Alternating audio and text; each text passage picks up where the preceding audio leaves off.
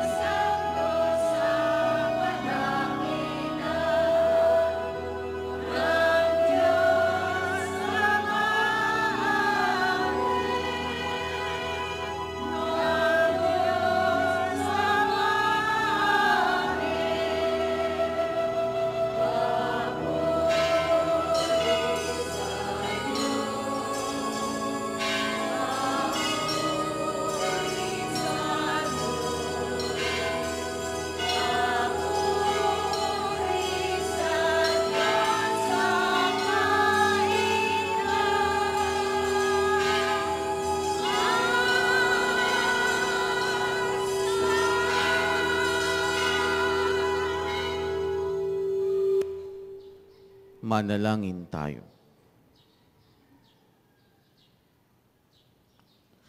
Ama naming makapangyarihan, kaming mga tinubos mo at kinupko, ay tunghayan mo ngayon sa iyong kagandahang loob upang sa pagsampalataya sa anak mong si Kristo, makamtan ang kalayaan at pamana sa piling mo sa pamagitan niya, kasama ng Espiritu Santo, magpa sa walang hanggan. Amen. Magsiupo ang lahat. Sa unang pagbasa, ipinahahayag ni Propeta Isayas ang mga tandang mangyayari sa, pang- sa pagdating ng Panginoong Diyos na ang mga inaayawan at nangangailangan ay kakalingain at pupunan. Ang salita ng Diyos mula sa aklat ni Propeta Isayas. Ito ang sabihin si pinanghihinaan ng loob. Huwag kang matakot.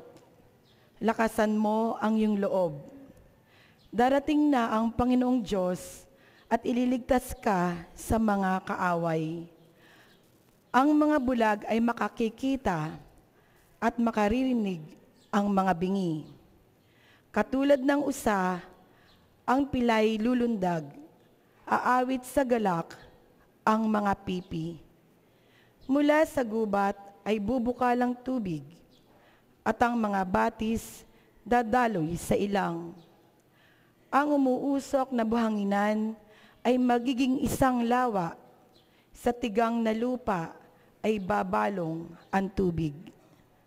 Ang salita ng Diyos. Salamat sa Diyos.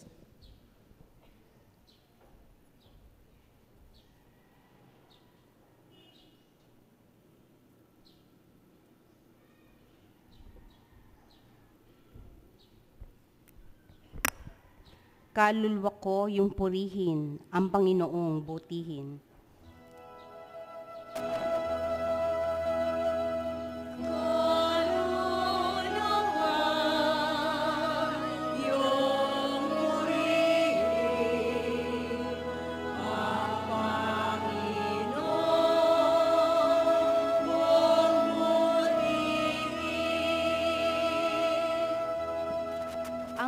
maaasahang lagi, Panginoon, panig sa naaapi. Ang Diyos na hukom, may pagkaing handa sa nangagugutom.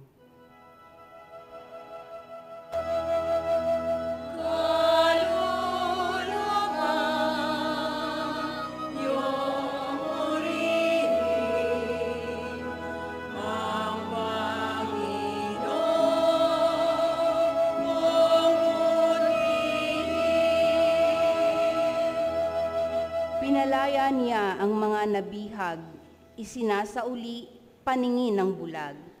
Lahat ng inapi ay itinataas, ang mga hinirang niya'y nililingap.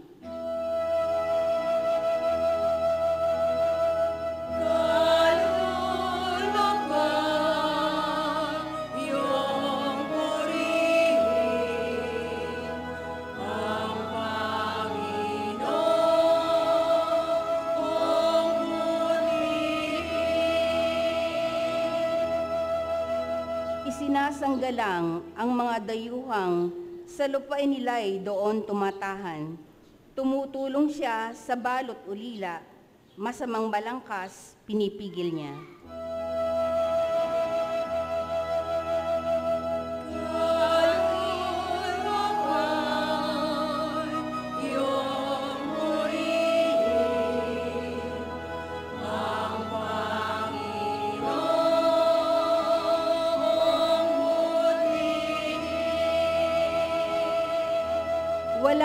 Hanggang hari ang Diyos na poon, nabubuhay lagi ang Diyos mo, Sion.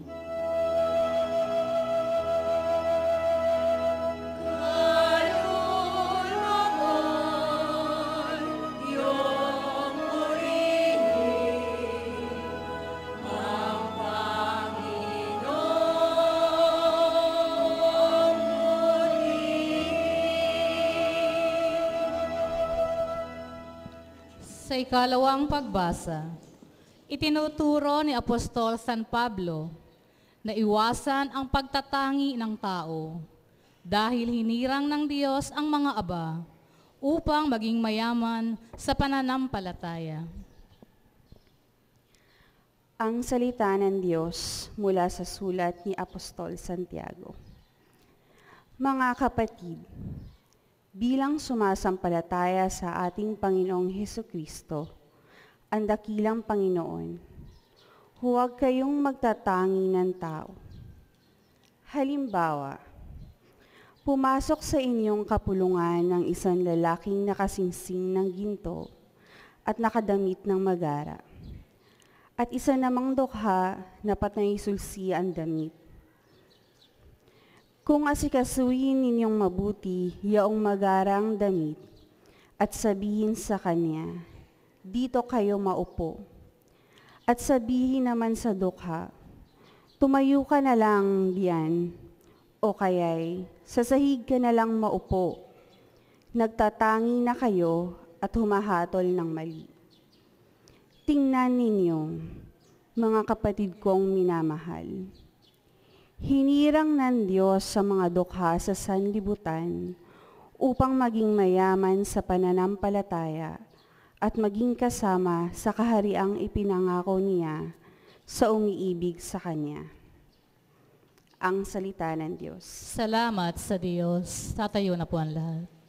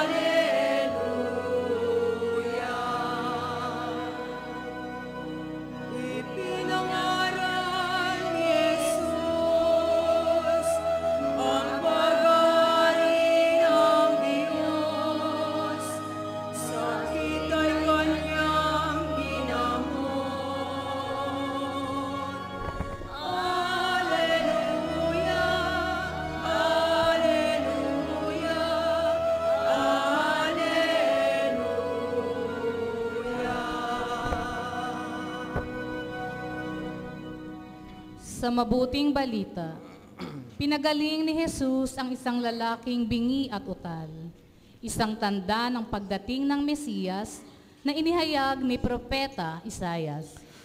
Sumainyo ang Panginoon, At sumayo rin. ang mabuting balita ng Panginoon ayon kay San Marcos. Papuri sa iyo, Panginoon.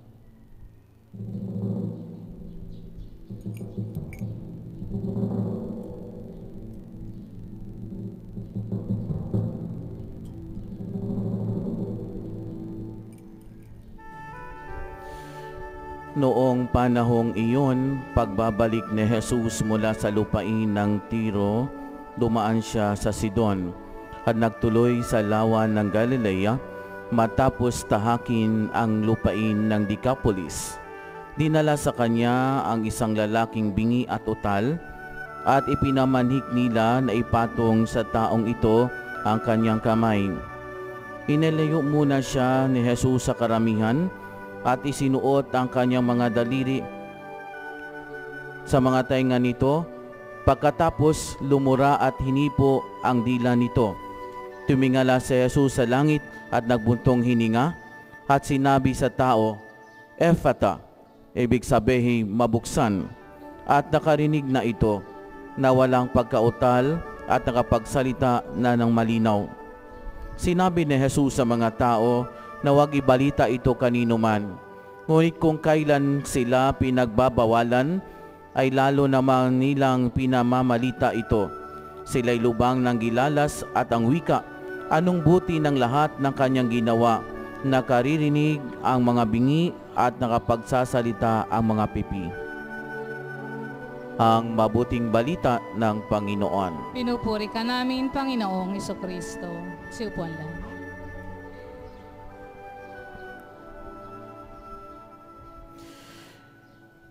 Isa sa ministeryo ng ating Panginoong Heso Kristo ay ang ministeryo ng pagpagaling. Kaya nga po, maraming bahagi sa banal na kasulatan na kung saan ang Panginoong Jesus, maliban siya ay nagtuturo, ang Panginoong Jesus ay tinutugunan niya ang mga kahilingan ng may mga karamdaman. At ang ibanghelyo na ating napakinggan sa linggong ito ay isa ulit na pagtugon ng Panginoon sa paghingi ng mga taong nakapaligid sa kanya na pagalingin ang taong bingi at utal. At ito nga ang nangyari, pinagaling ng Panginoon ang taong ito dahil sa kultura po kasi ng mga Hudyo, ang taong may karamdaman, ang taong may kapansanan, o ang taong may sakit ay nagiging limita ang kanilang galaw at pakikibahagi sa gawain ng lipunan. Kadalasan, nilalayuan, kadalasan, ibinababa ang pagtingin sa kanila. Ngunit sa pamagitan ng ginawa ng Panginoon sa taong ito na ibinalik sa normal ang kanyang pandinig, ang kanyang pananalita. Ang taong ito ay naging bahagi ulit ng lipunan na kanyang ginagalawan. Ibig sabihin, isa sa gawain ng Panginoong Hesus ay ang pagtugon sa problema ng lipunan na ginagalawan ng Panginoon. Ito din ang inilalahad sa atin na ang lipunan na ating ginagalawan ay marami pong kailangang tugunan. Ano po ang mga iyon? Halimbawa, sa mga may kapansanan.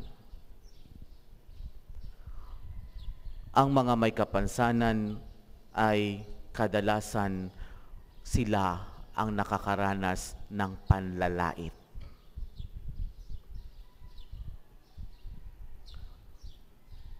Ang mga may kapansanan, sila po ang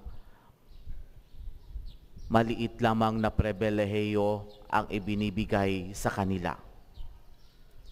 Ang mga may kapansanan, kung minsan inaayawan ng pamilya. Bakit sinabi ko po iyan? Hindi ko po i-specify ang iba't ibang kapansanan. Pero nakaraang linggo sa aking karanasan ay ganito. May lumapit po sa akin at humihingi ng tulong kung ano po ang aking magiging suggestion or payo. Siya po ay I think mga nasa 65 na. Mayroon po siyang kapatid na 80 years old. Isa sa ginagawa ng kanyang kapatid ay aalis ng hating gabi at hindi niya alam kung paano umuwi. Kung minsan magluto daw siya ang kanyang kapatid na sunog dahil hindi na niya alam na mayroon pala siyang niluto, makakalimutin. Isa pa din ay naging ulianin.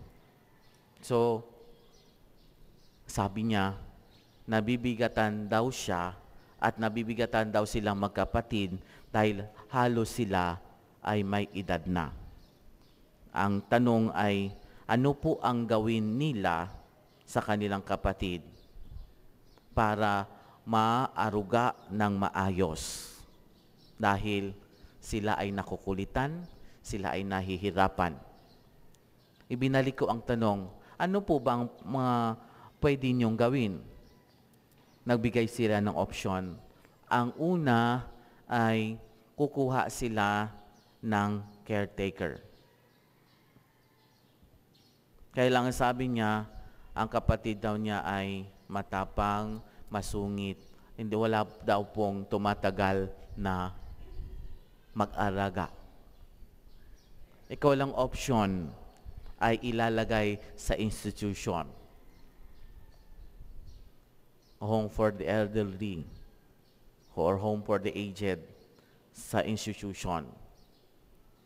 Ang sabi ko ay, una, kung kayo ay kukuha ng caregiver or magbabantay, kaya nyo po ba tugunan ang inyong pansahod sa magbabantay? Baka naman ay doon compensated sa service na render.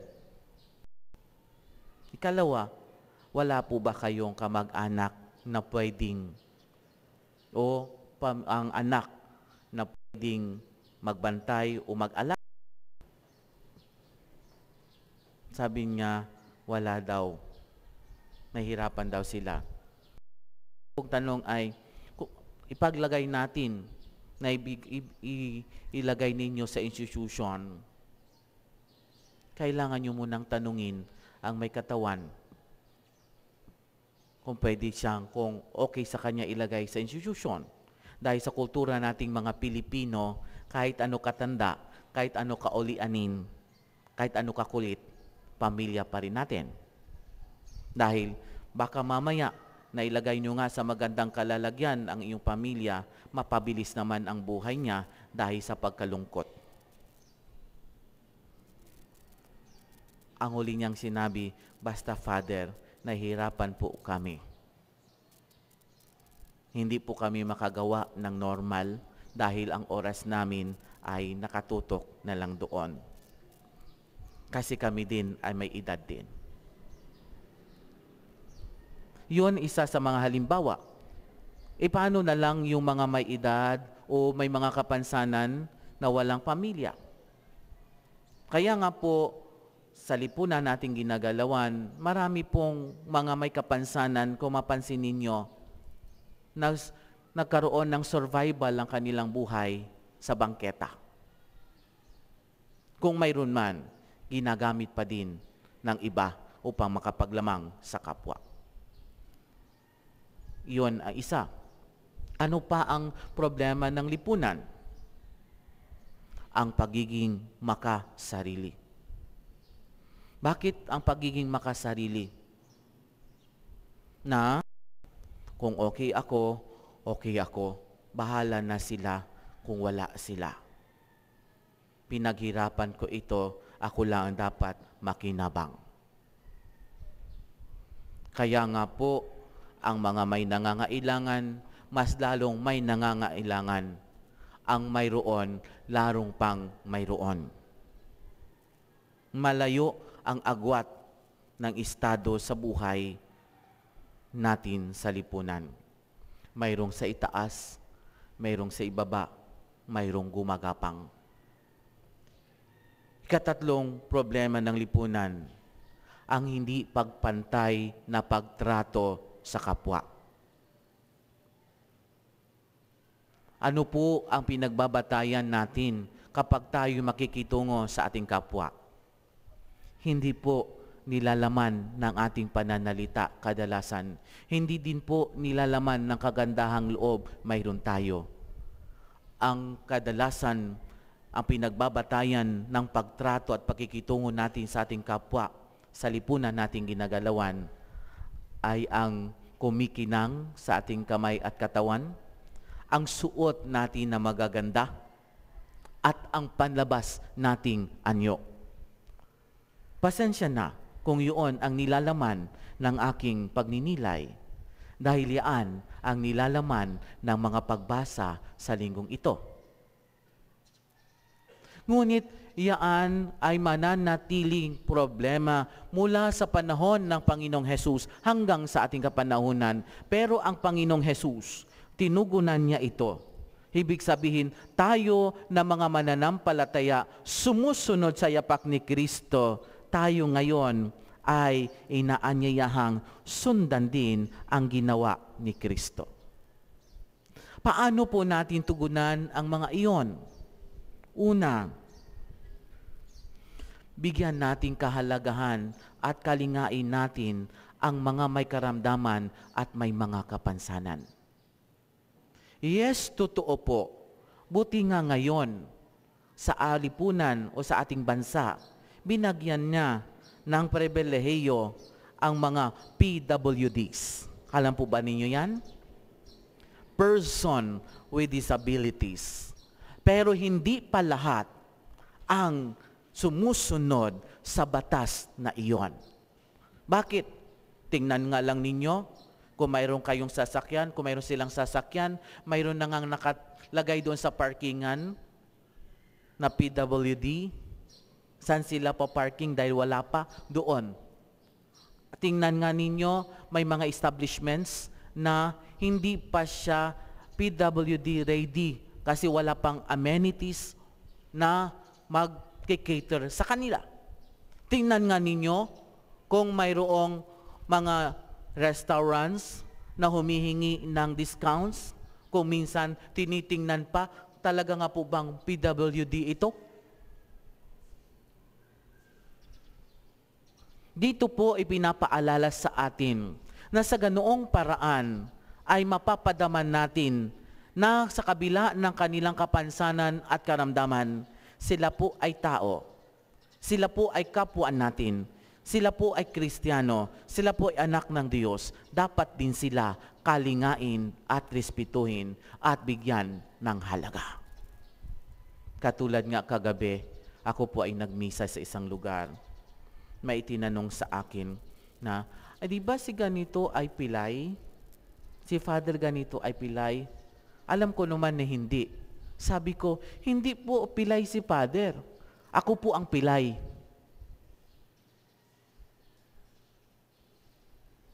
Sa ganun lamang na paraan, biro na may patama. Kung ako ay hindi pumalawak ang aking pag-iisip, ano pong sasabihin ko? Sasama loob ko. Magagalit ako. Pero tinugunan ko ng biro din. Wala pong, hindi po pilay si Father. Ako po yung pilay. Mula ng pagsagot ko, hindi na nagtuloy ang kanilang biro. Yes, totoo yan. Sa kunting pagsasalita, akala natin normal lang. Pero hindi natin isinaalang-alang na ang may mga kapansanan ay may damdamin ding nasasaktan. Ikalawa na pagtugon ay ang pagpantay-pantay na pagtrato natin sa ating kapwa.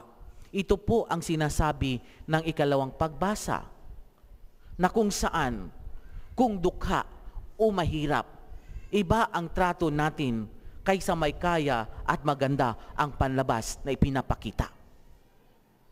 Tingnan nga lang ninyo kapag kayo maghanda sa inyong bahay, mag-imbita kayo ng mga panauhin ninyo. Iba yung pagkain na nakalagay sa mesa, na nakasuot ng magara na pananamit. Iba din ang pagkain ng mga ma- mga pangkaraniwan at ordinaryong tao na pumunta lamang sa handaan? Hindi po ba? Marami po ang ganyan. Ang sabi ko, hindi po ba nila alam na yung mga panauing iyon, pangkanariniwan na lamang ang pagkain niniha, ninihain sa kanila? Pero yung pangkaraniwan na tao, kapag hainan sila ng mas maganda at mas masarap, yun po ang special na araw nila. Kaya nga po kapag ako ay pumupunta sa handaan, yun lang ha, sa handaan. Kapag ako'y pumupunta sa handaan, kapag pagdating na sa pagkain, maging masarap ang pagkain ko. Pagsama ko sa pagkain, kung ang aking kinakain ay pareho din sa lahat. Ganun po ako. Magiging sa kombento, sa tauhan sa kombento, kung ano ang pagkain namin, kinakailangan, yun din ang pagkain ng tauhan. Kung tuyo ang pagkain ng tauhan, yun din tuyo din ang kakain namin. Bakit? Bakit? Hindi ba sila kumakain ng tuyo? Hindi din po ba kami kumakain ng tuyo? Iba po ba ang kanilang hininga kaysa amin? Yan lang, isa sa halimbawa ng pagpantay-pantay na pagtrato. Ikatatlo, na sa pagtugon natin sa problema ng lipunan, ito po ang sinasabi na ang bawat isa sa atin ay may pananagutan. Hindi po ba mayroon tayong awit na ang title ay pananagutan? Na walang sino man ang nabubuhay para sa sarili lamang. Walang sino man ang namamatay para sa sarili lamang. Tayong lahat ay may pananagutan sa isa't isa. Tayong lahat ay tinipo ng Diyos na kapiling niya. Sa araw na ito, ang ginawa ng Panginoon sa Ebanghelyo ay inaanyayahan din tayong gawin din natin sa ating kapwa. Amen. Palakpakan po natin ang Panginoon.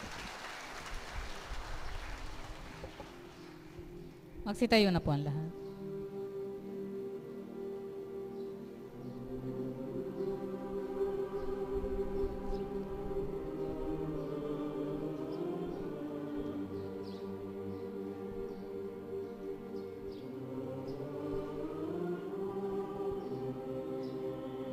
Sumasampalataya ako Sa Diyos amang makapangyarihan sa lahat na may gawa ng langit at lupa, sumasampalataya man ako kay Iso Kristong iisang anak ng Diyos. Panginoon nating lahat, nagkatawan tao siya lalang ng Espiritu Santo. Pinanganak ni Santa Maria Birhen, pinagpakasakit ni Poncio Pilato, pinako sa krus na matay ni Libing, nanaog sa kinaroroonan ng mga yumao. Nang may ikatlong araw na buhay na maguli, umakyat sa langit, naluklok sa kanan ng Diyos samang makapangyarihan sa lahat. Doon nagmumula paririto, huhukom sa nangabubuhay at nangamatay na tao. Sumasampalataya naman ako sa Diyos Espiritu Santo, sa banal na simbahang katolika, sa kasamahan ng mga banal, sa kapatawaran ng mga kasalanan, sa pagkabuhay na maguli ng mga nangamatay na tao, at sa buhay na walang hanggan. Amen. Natunghayan natin na sa Ebanghelyo si Jesus na tumugon sa pangangailangan ng bingi at utal. May pananalig tayong manalangin sa Diyos, Ama, upang tumugon din siya sa ating mga pangangailangan. Ang ating pong itugon, Panginoon, pagalingin mo kami. Panginoon, pagalingin mo kami. Ang simbahan at ang kanyang mga kasapi naway maging bukas sa pahayag ng pagpapagaling ng Ebanghelyo. Manalangin tayo sa Panginoon. Panginoon, pagalingin mo kami. Ang mahal na obispo, Jose Oliveros, nawa sa kanyang pagdiriwang ng kaarawan, ay biyayaan ng Diyos ng isang buhay na kaaya-aya. Manalangin tayo sa Panginoon. Panginoon, pagalingin mo kami. Ang pamahalaan, naway maging bukas ang pagdinig at puso sa hinaing ng sambayanan.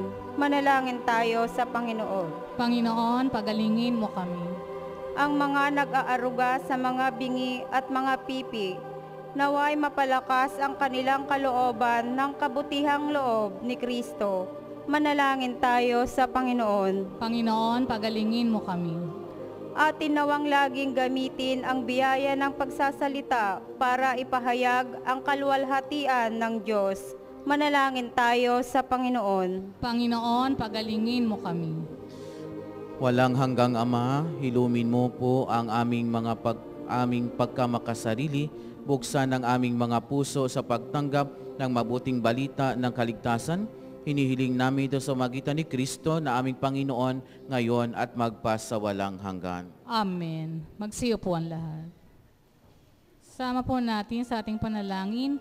Ang pasasalamat para sa kapistahan ng kapanganakan ng mahal na Birhing Maria at kapistahan ng mahal na poong Santo Cristo at ng kanilang pamilya, nila Linda Mendoza, Priscilla Gumatay, Christy Martinez, Roddy and Ellie Gonzalez, Danilo and Donna Patriarca, Mila Rojas, Flora de Guzman, Leonie Bagas, Salvacion Haber, Onyang Mariano, Catalina de la Cruz, Zenaida de la Cruz, Mirna and Fernando de la Cruz, Roberto, Zenaida and Villa Ketwa, Leonie Villaflor, Maria Duca, Lito and Emma Santuel, Aurora Fernando, Joey and Cecilia Barquez, Merly Gumatay, Leonor Reyes, Randy Gumatay, Minyang Francisco, Angelina Salazar, Risanta Robes, Early de la Cruz, Joseph de la Vega, CWL, Francisca Herona, Rosila Nieto, Catalina de Leon,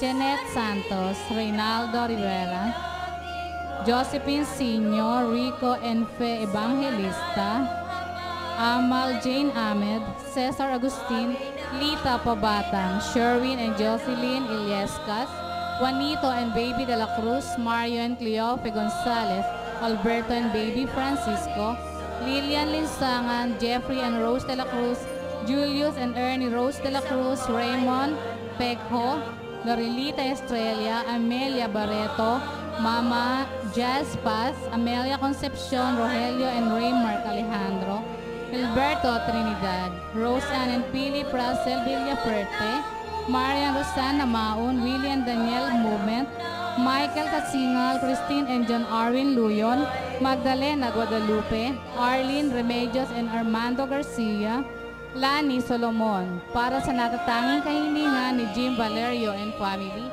para sa nagdiriwang ng kaarawan, Jason Maranan, Arsenio de la Cruz, Rosana Pantaleon, Eduardo Lagitaw, Joseph Fenomeno, Ramon Policarpio, Ella May Garcia at Vanessa de la Vega. Para sa maagang pagaling ni Corazon Ong, Leonila de los Santos, Carol Maria Rosel, Ray Gatus, Rina Mendoza, Seri Mercado, Maria Nieldo, Rosauro Santos, Angie Arbat, Dr. Christopher Cheng, Enrico Caroncho, Faustina De Luna, Trining Evangelista, Constancia Carandang, Sorseng Aguyaol, Josepina Guadalupe, Flower Sponsors, Poyan K. Tugade, Eric and Mary Rose Bulaong, Rene, Marilyn, Nicole, and Gabriel Patriarca.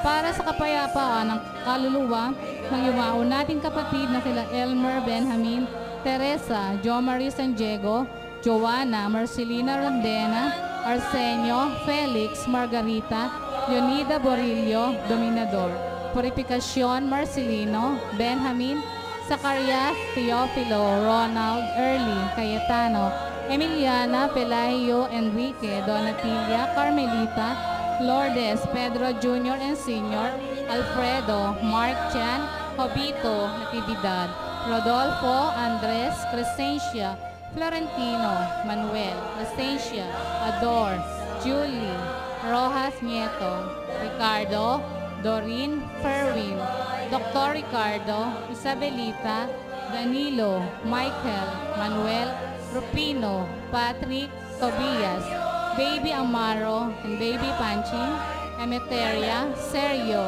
Hilario, Dr. Edilberto Sr., Engineer Edilder, Edilberto Sr., Gregoria, at lahat ng mga kaluluwa sa purgatorio. Milagros, Serapio, Dominador, and Jocelyn.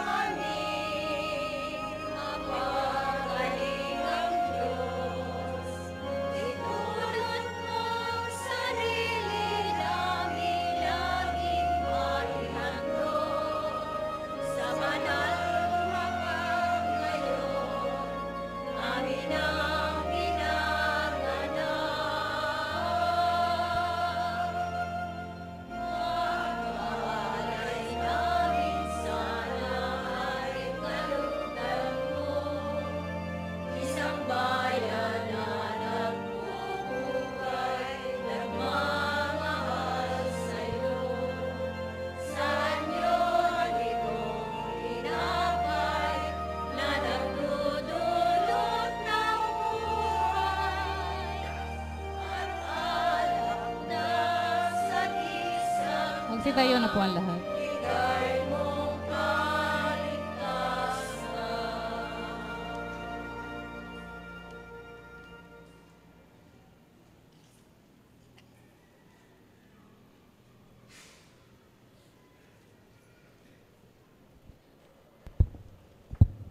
Manalangin kayo mga kapatid o pangapagahain natin ay kalugdan ng Diyos sa mga makapangyarihan.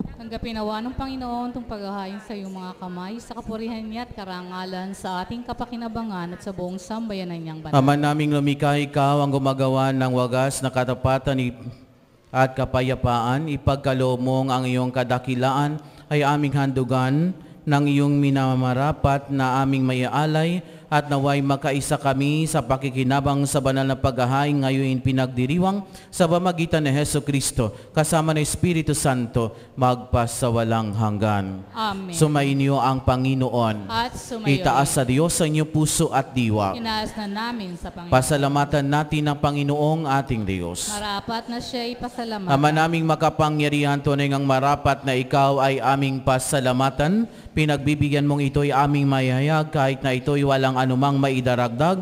Sa kadakilaan sa iyo ay likas. Sa pagpupuri namin ang nakikinabang ay kami rin yung pinakikiharapan sa pamagitan ng iyong anak na minamahal. Kay kaisa ng mga anghel na nagsisiawit ng papuri sa iyo nang walang humpay sa kalangitan kami nagbubuni sa iyong kadakilaan.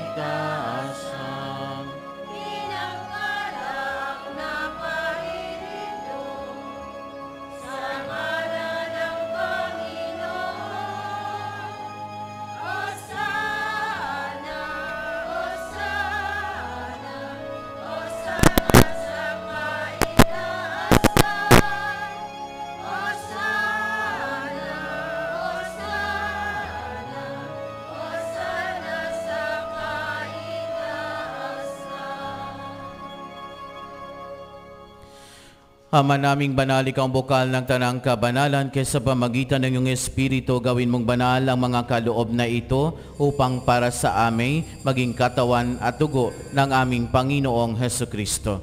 Bago niya pinagtiis ang kusang loob na maging handog, hinawakan niya ang tinapay, pinasalamatan kaniya, pinaghati-hati niya iyon, iniabot sa kanyang mga alagad at sinabi, Tanggapin ninyong lahat ito at kanin, itong aking katawan na ihahandog para sa inyo. Panginoon ko at Diyos.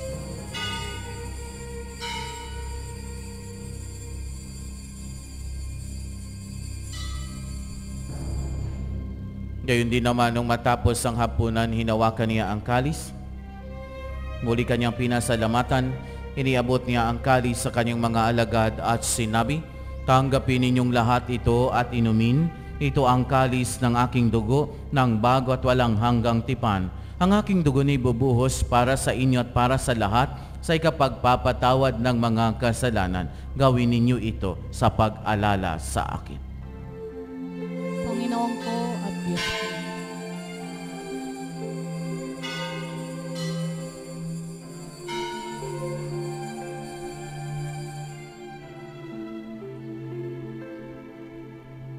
Ang misteryo ng pananampalataya.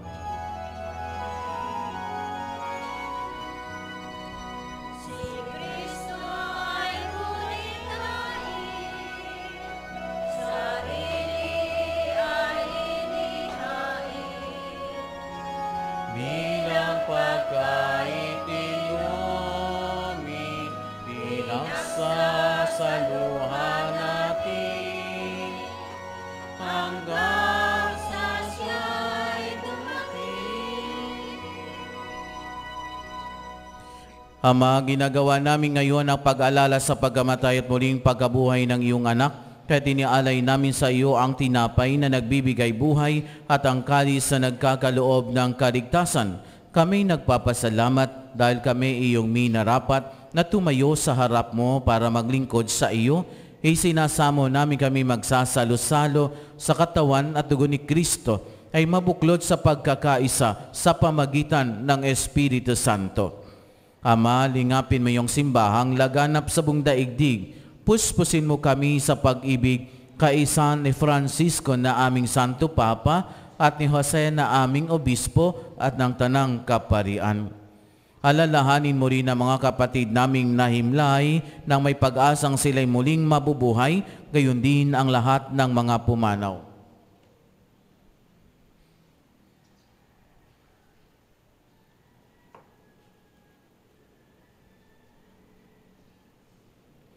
Kaawaan mo sila at patuloyin sa iyong kaliwanagan. Kaawaan mo at pahindapating kaming lahat na makasalo sa iyong buhay na walang wakas.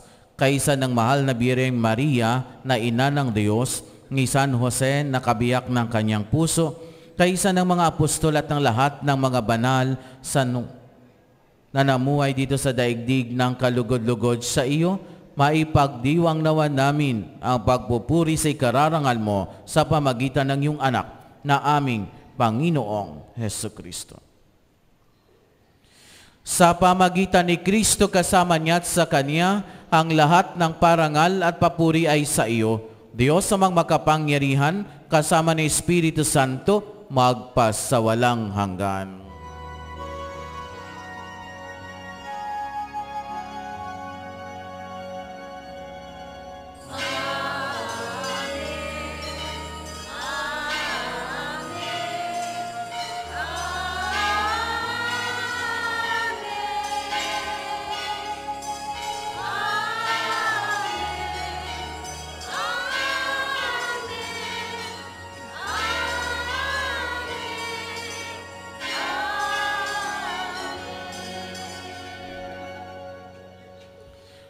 Sa tagubilin ng mga nakagagaling na utos sa turo ni Jesus na Panginoon natin na Diyos, awitin po natin ng lakas loob.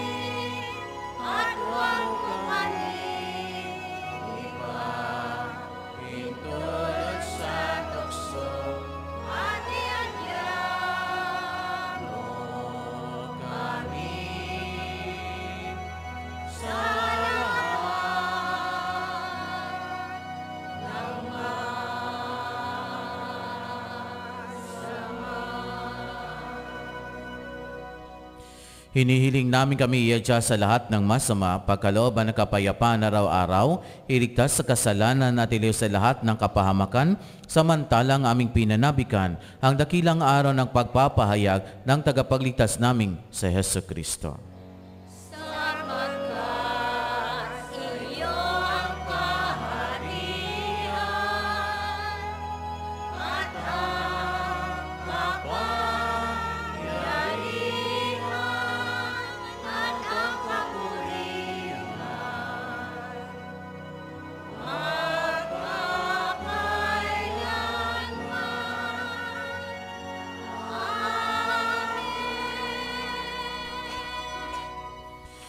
Panginoong Heso Kristo, sinabi mo sa mga apostol na kapayapaan na iniwan ko sa inyo, ang aking kapayapaan na binibigay ko sa inyo. Tungayan mo ang aming pananampalataya at huwag ang aming mga pagkakasala. Pagkalooban mo kami ng kapayapaan at pagkakaisa ayon sa iyong kalooban, kasama ng Espiritu Santo, magpasawalang hanggan. Amen. Ang kapayapaan ng Panginoon ay laging sumainyo. At sumayo. Magbigyan po tayong kapayapaan sa isa't isa. Peace be with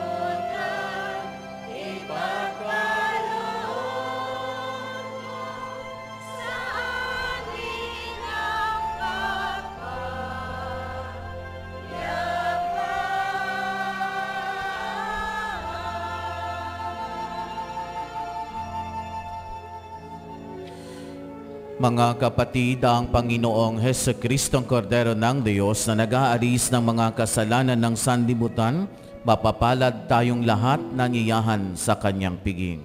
Panginoon, do karapat dapat magpatuloy sa iyo. Ngunit sa isang salita mo lamang ay gagaling na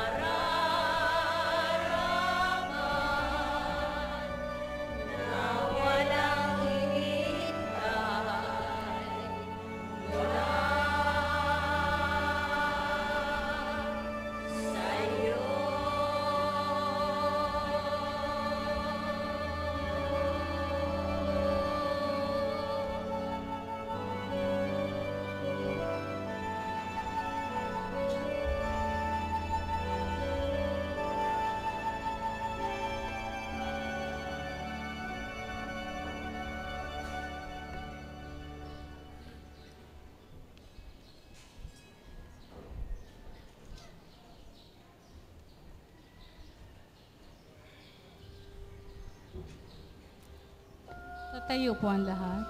Panalangin sa mahal na Birheng Maria, Aba po, Santa Maria ang hari na ng awa. Ikaw ang kabuhayan at katamisan. Kaya ba pinananaligan ka namin? Ikaw nga po ang tinatawag namin pinapanaw na taong anak ni Eva. Ikaw rin ang pinagbubuntong hininga namin sa aming pagtangis dito sa lupang bayang kahapis-hapis. Kaya ba pintakasi ka namin? Lingon mo sa amin na matamong maawain at saka kung matapos siya rin pagpanaw sa amin. Pakita mo sa amin ang iyong anak na si Jesus.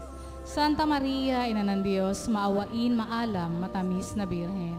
Panalangin mo kami, O Santa ang Ina ng Diyos. Maaari po nating idulog ang ating mga kahilingan sa ating mahal na Birheng Maria. Panalangin sa dakilang awa ng poong Santo Kristo. Pumanaw ka Jesus, subalit ang bukal ng buhay ay bumalong para sa mga kaluluwa. At ang karagatan ng awa ay bumugso para sa libutan. O bukal ng buhay, walang hanggang awa ng Diyos. Yakapin mo ang sangkatauhan at ibuhos mong ganap ang iyong sarili para sa aming lahat. O banal na dugo at tubig na dumaloy mula sa puso ni Jesus bilang bukal ng awa para sa aming lahat. Ako po'y nananalig sa iyo. Banal na Diyos, banal na puspos ng kapangyarihan, banal na walang hanggan. Banal na Diyos, banal na puspos ng kapangyarihan, banal na walang hanggan. Banal na Diyos, banal na puspos ng kapangyarihan, banal na walang hanggan. O Jesus, kami po'y nananalig sa iyo. Magsiupo po muna para sa second collection at ilang announcement.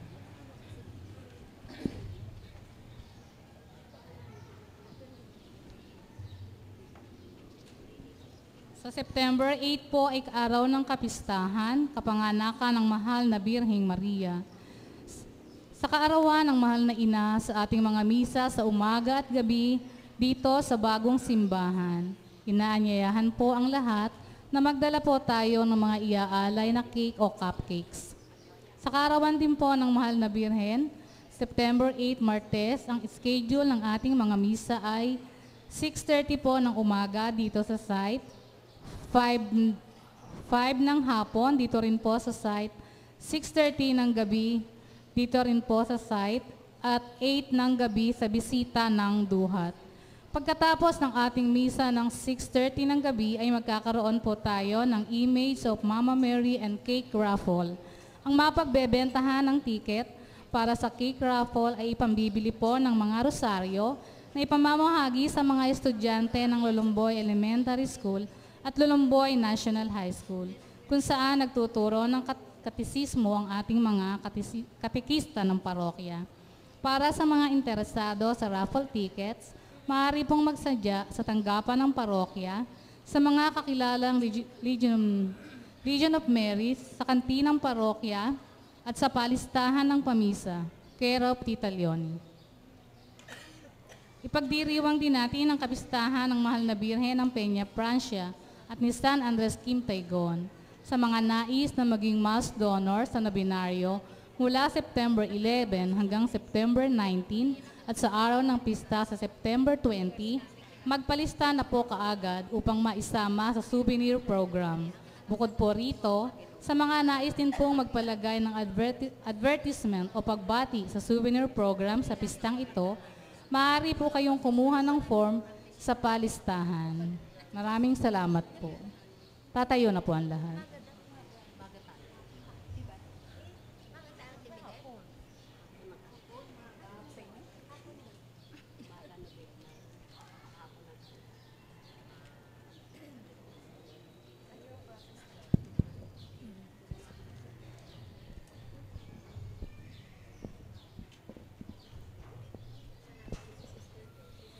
Manalangin tayo.